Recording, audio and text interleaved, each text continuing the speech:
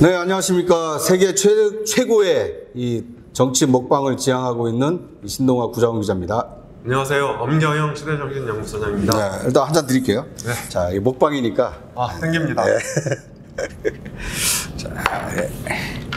좀더 주셔도 되는데. 자, 한잔 하시죠. 네. 네.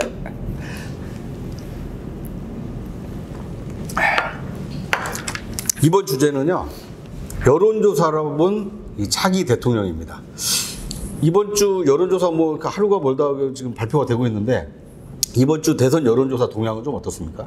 누가 유리한 걸로 지금 나옵니까? 네, 윤석열 후보가 어, 이재명 후보와 가상 대결에서 격차를 벌리고 있습니다. 네. 아, 그래서 여론조사 어, 이 종류별로 조금씩 다른데 네. 여론조사 방식에 따라서 즉 ARS 여론조사는 어, 윤석열 후보가 이재명 후보를 10% 초중반에서 앞서고 있고요. 네. 네, 그리고 이제 전화 면접 조사에서는 어, 윤석열, 이재명 후보가 각축을 벌이고 있습니다. 네. 거의 차이가 없는데요. 네. 근데 여기서 이제 우리가 어, 이 각축을 벌인다 하더라도 누가 우세인지 파악할 수 있습니다. 자, 그건 제가 조금 이따 말씀드리겠고요. 일단 네.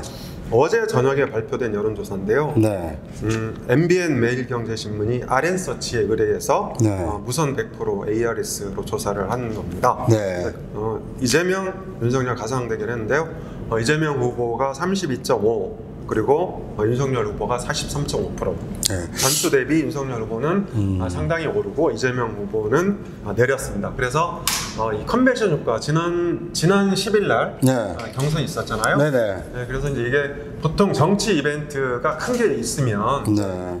그 이벤트 효과로 어, 지지율이 크게 오르는 경우가 많아요. 네. 그런데 이번에는 어, 지지율이 크게 떨어지면서 소위 역뱅션 효과 뭐 이런 이제 신조어가 생겨났습니다. 그런데 이제 지금 한 가지 좀 이해가 안 되는 게 네.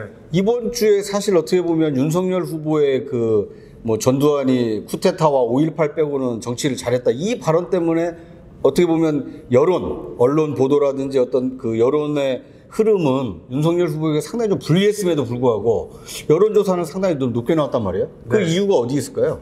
네, 그러니까 뭐 몇 가지가 있을 텐데요. 가장 네. 핵심적인 이유 중에 하나는 어, 윤석열 후보의 핵심 지지층은 60대 이상과 TK, PK 영남입니다. 네. 그래서 이제 우리가 구 기자님 아버지 어머니 생각해 보시면 쉬운데요. 네. 이 놓친 애들은 이게 생각을 잘안 바꿉니다. 아무리 설득을 해도 네. 뒤돌아서면 네. 자기 생각대로 고하는 경향이 있거든요. 네. 그래서 어, 저희 이제 아버님, 어머님도 마찬가지인데 네. 할아버지, 할머니들 그렇잖아요. 아 그러면은 이번 주에 그 이재명 지사의 경우에는 18일과 20일 두 번 국정감사에 직접 나와서 대장동 의혹에 대해서 해명도 하고 설명도 하고 했는데 이런 것도 여론조사에는 어느 정도 좀 반영이 됐다고 봐야 되나요?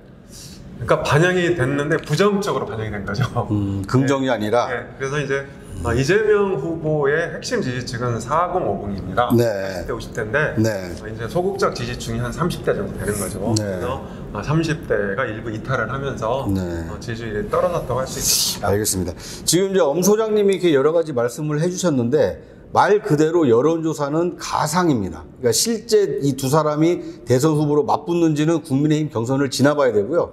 그리고 조사 시점이 이게 보면 18일과 20일 사이입니다. 그러니까 그때 조사했을 때 여론으로 보면 윤석열 후보가 다소 앞선다. 이런 것이지 곧 이것이 뭐 대선 결과 와 똑같다 이렇게 보시는 것은 조금 뭐 너무 예단하는 것이 될 수 있기 때문에 그런 점을 좀 감안하고 보시면 어떨까 하는 생각이 듭니다. 어쨌든 이제 요약을 하자면 금주 10월 넷째 주 예, 셋째 주인가요?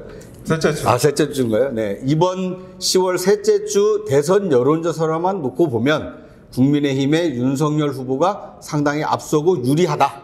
네, 만약에 내일 대선이 치러진다면 윤석열 후보가 당선할 가능성이 높다. 그렇습니다. 뭐 이렇게 결론을 내릴 수 있는 거죠? 네, 그렇습니다. 알겠습니다. 저보다 훨씬 명쾌하시죠. 아이고, 아닙니다. 자, 고생하셨습니다. 그러면 가상 대결 여론조사는 여기서 마치도록 하겠습니다. 다음 코너에서 또 만나 뵙도록 하겠습니다.